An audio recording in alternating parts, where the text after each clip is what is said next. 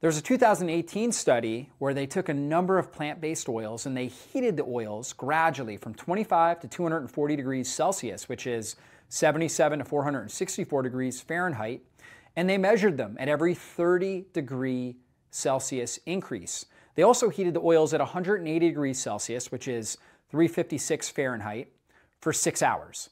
So they did one where they gradually increased the temperature and one where they kept it at a high temperature 180 Celsius for six hours. Again, that's much longer than many slow cooking methods recommend, but they measured the samples at 30, 60, 180, and 360 minutes. In each sample, they looked at oxidation, oxidative stability, fatty acid profile, and toxic byproducts, something called polar compounds, which are these toxic inflammatory compounds that are produced when oils are kept at a high heat for a period of time. All the samples were cooled and analyzed later.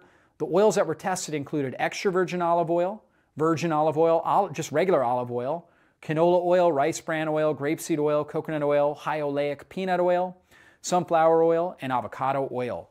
And what they found was that the one with the highest oxidative stability was coconut oil, and that's because it's really high in saturated fats.